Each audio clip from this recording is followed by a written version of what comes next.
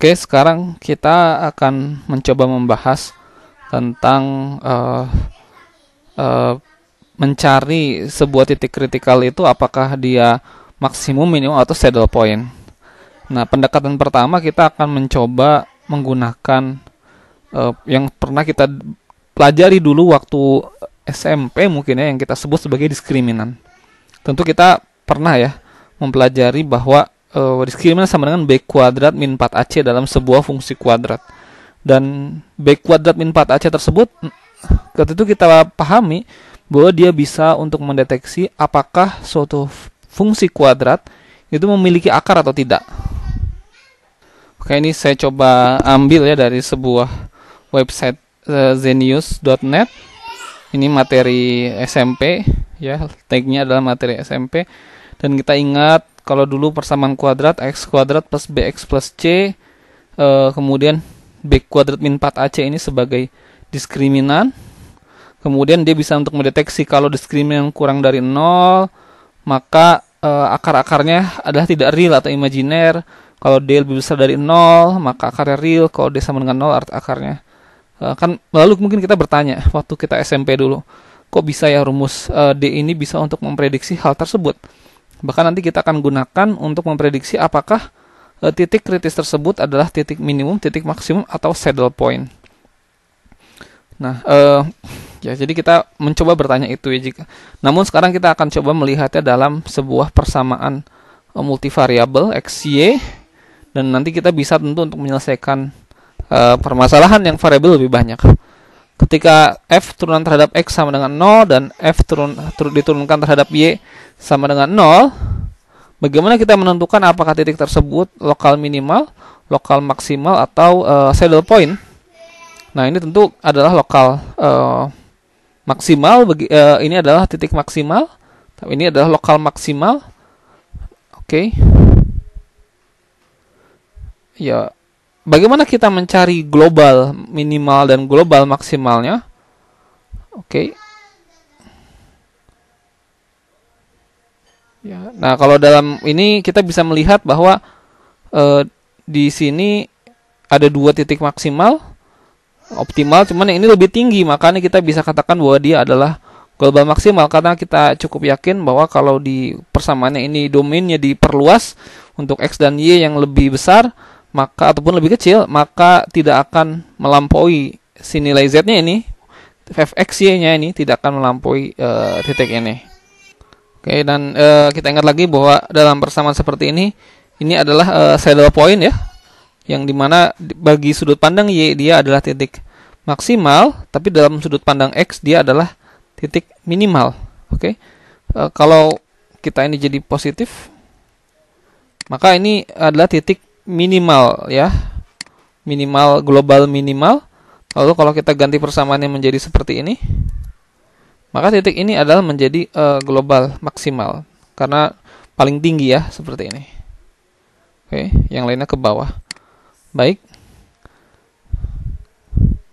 Nah, bagaimana cara uh, mengerjakannya?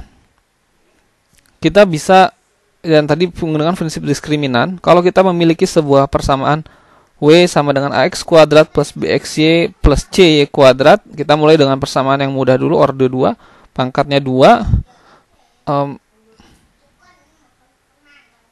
oke. Okay. um, maka kita bisa buat persamaan ini menjadi seperti ini. Uh, bisa kita bisa pecah ya. Kita bisa pecah menjadi dua komponen kuadrat sebagai contoh misalnya x kuadrat plus 2xy plus 3y kuadrat itu kita bisa buat bentuknya menjadi seperti ini oke dari mana penjelasannya nah kita kita bisa pecah x kuadrat plus 2xy plus uh, y kuadrat plus 2y kuadrat. Oke. Okay. Oke, nah x kuadrat plus 2xy plus y kuadrat ini itu kan sama dengan x plus y dikuadratkan. Betul tidak? Ini kalau ini dikuadratkan hasilnya akan menjadi yang uh, kita coba ganti warnanya. Kalau yang ini ya, maka hasilnya akan jadi yang ini. Nah, yang ininya tetap ke sini aja. Dan kalau kita lihat uh, dua fungsi ini ini mau nilainya positif negatif karena dikuadratkan pasti nilai ini menjadi positif dan ini juga karena y-nya dikuadratkan kasih nilainya positif. Contohnya misalnya min min 1 dikuadratkan positif. Min 1000 dikuadratkan jadinya 1 plus 1 juta, positif 1 juta. Negatif uh, atau positif 100 dikuadratkan ya positif 10.000. Jadi dua ini akan selalu positif. Artinya nilai W akan selalu positif. Jadi kalau kita buat uh, grafik, uh, kita coba ya, nanti akan uh, akan nilainya itu akan selalu positif. Berarti kita bisa mengatakan bahwa nanti kalau kita punya titik kritikal dari persamaan ini, dia akan menjadi uh, akan menjadi titik minimum. Kenapa? Karena semuanya akan positif nilainya. Kita coba buktikan dengan kita gambar. Oke. Okay. Sebentar.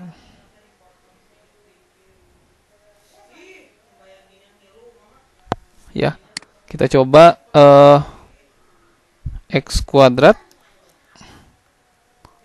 plus 2x kali y plus 3 y kuadrat.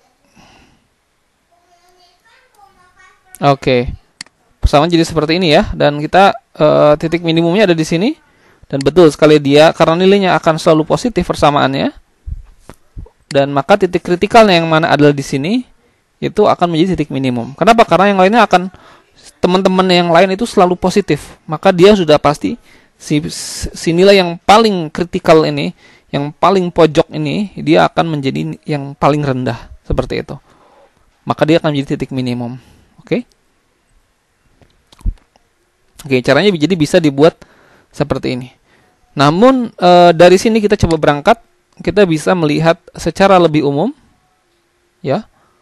Oke, sebentar. Oke, ya e, kita bisa coba e, pisahkan a-nya dikeluarkan dari dalam kurung, maka a-nya keluar menjadi a dalam kurung x kuadrat. E, di sininya kita ada a-nya dibagi a begitu supaya dia uh, a-nya bisa dikeluarkan plus b per a x y. Coba kita kalikan ke sini ya.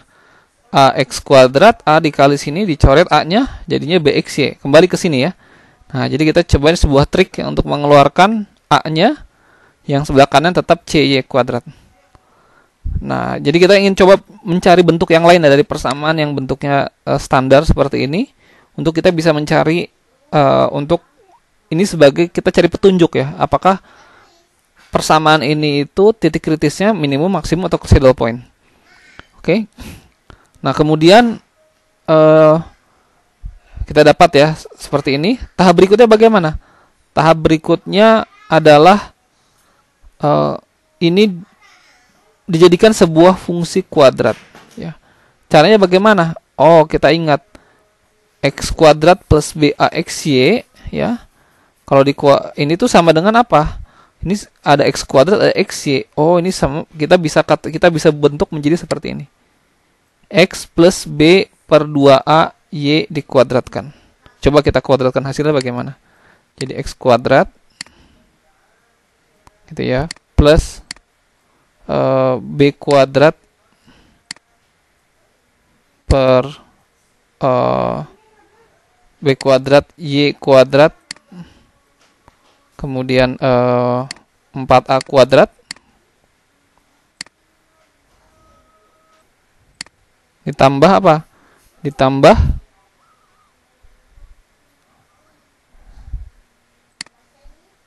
B per 2A XY.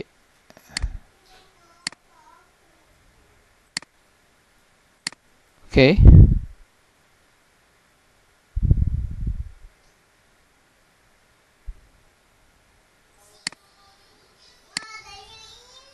Kali dua ini ya. Nah, kalau dicoret seperti kan jadi BAXY begitu. Lalu ini di A-nya ada di depan. Nah, kalau kita kalikan ke dalam sini, nah akhirnya akan menjadi seperti apa?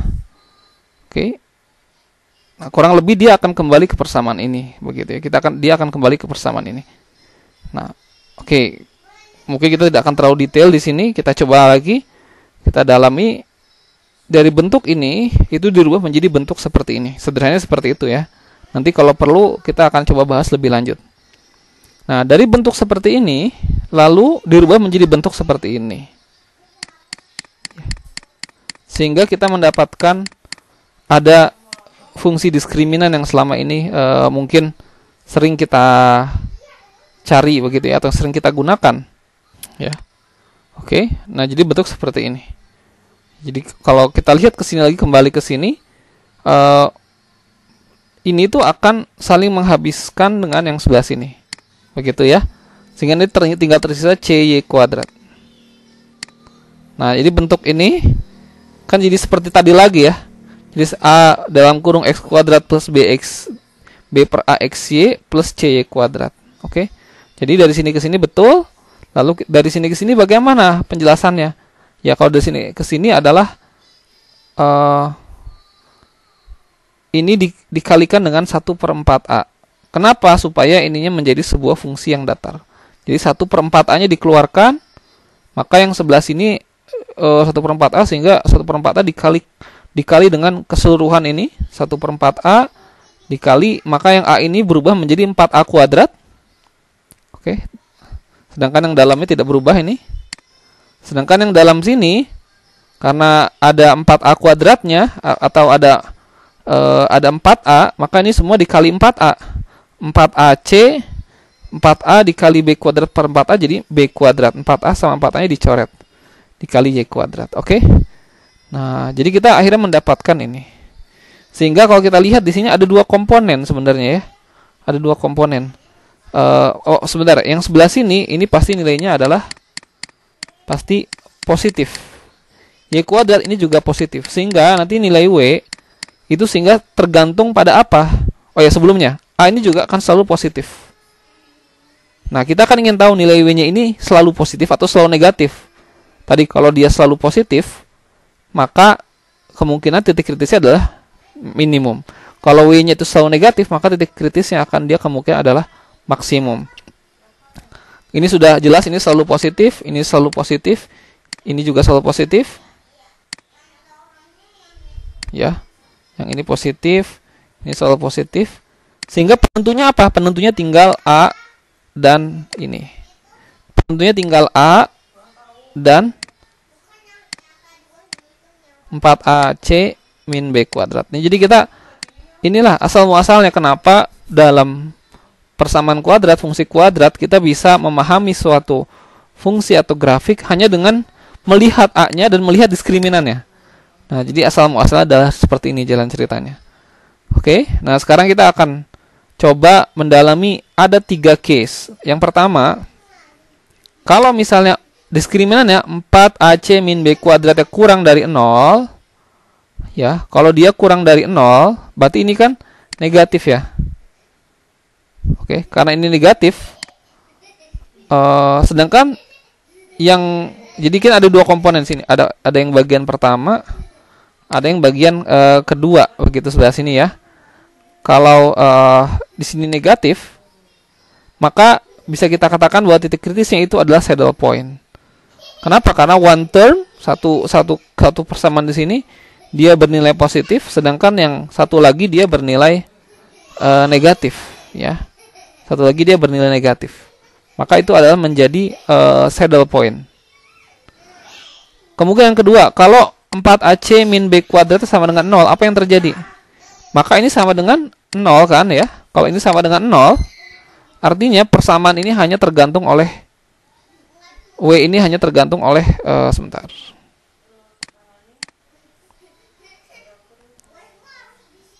Hanya tergantung oleh ini saja, begitu ya. Oke, artinya apa?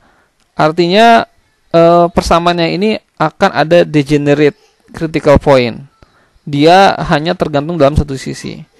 Analoginya seperti wx kuadrat. Kita coba wx kuadrat itu seperti apa? Uh, wx kuadrat itu seperti ini. Ya. Oke, seperti ini artinya apa? Dia secara uh, x dia minimum ya. Kalau kita lihat grafiknya seperti ini atau seperti ini uh, dia minimum. Titik ini minimum. Tapi secara Y seperti tidak peduli Y-nya begitu ya. Yang kanan yang Y ini seperti menganggur gitu, nggak ada ngaruh ke apa-apa ke terhadap pencarian titik minimum atau titik maksimum. Oke? Okay? Jadi tadi ada dua sisi kan ya kalau kita melihat ada sisi pertama dan sisi kedua. Tapi yang keduanya ini nol. Jadi si y kuadrat ini nggak nggak seperti tidak punya tidak punya pengaruh karena langsung dikalikan dengan nol. Yang ke, yang ketiga, skenario ketiga adalah kalau 4AC min B kuadratnya lebih besar dari 0. Maka tadi persamaan tadi ini eh, yang ini positif, yang ini positif. Oke? Okay? Keduanya positif eh, artinya apa? Oke, okay. kalau artinya nilai W-nya itu hanya tergantung oleh A. Kalau kan ya seperti itu ya. Kalau A-nya itu lebih dari 0 atau A-nya itu positif, Berarti persamaannya kurang lebih seperti ini. Berarti titiknya titik kritikalnya adalah titik minimum. Jadi bentuknya seperti uh, ini. Seperti tadi ini ya, x plus y kuadrat. Oke. Oke. Tapi kalau misalnya A-nya minimum, A-nya min, nah A-nya min apa yang terjadi? Maka uh, akan menjadi seperti ini dan titik kritisnya ini akan jadi maksimum seperti ini. A-nya min, jadi kan satu min x kuadrat begitu kan ya. Nah, seperti ini. Dia akan uh, di, ininya akan menjadi titik maksimum. Kenapa yang lainnya negatif? Oke, seperti itu. Dan maka maka yang yang di si titik kritikal ini akan menjadi titik maksimum. Oke. Oke, jadi dengan diskriminan dengan diskriminan artinya kalau kita tadi kembali ya. Kita punya persamaan seperti ini. Kita tinggal cari nilai diskriminannya D-nya berapa. B kuadrat min 4AC berarti ini 2 kuadrat min 4 1 dikali 3 begitu ya. Kemudian A-nya berapa? A-nya 1. A-nya positif. Dari sana kita bisa menyimpulkan banyak hal. Ya kalau dari sini coba dari persoalan yang tadi eh, B kuadrat min 4AC-nya berapa nih? B kuadrat min 4AC berarti 4 min 4 dikali A kali C. 1 kali 3 sebenarnya negatif ya. Ya kalau negatif seperti ini masuk kriteria sebagai saddle point ya. Oke titik kritis sebagai saddle point. Baik. Itu menjadi sebuah uh, ilustrasi ya rekan-rekan uh, tentang uh, bagaimana kita mencari titik maksimum dan titik minimum.